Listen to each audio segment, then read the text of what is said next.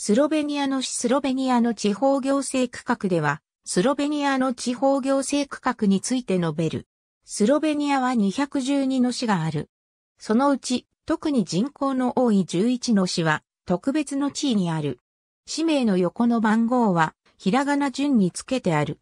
スロベニアの伝統的な7地方スロベニアには7つの伝統的な地方がある。ただし、行政区画としては区分されていない。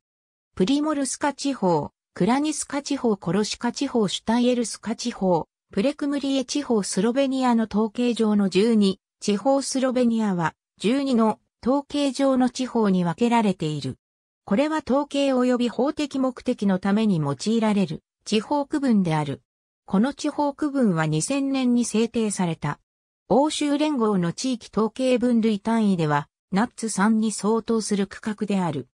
統計等ではそれまで広域の地方区分として伝統的な地方が用いられていたが、統計上の地方に置き換えられた。上カルニオラ地方ゴリシカ地方南東スロベニア地方、コロシカ地方プリモイコール内、カルニオラ地方沿岸カルスト地方中央、スロベニア地方、ドラバ地方村地方、サビンジャ地方ゲサバ地方中央サバ地方。ありがとうございます。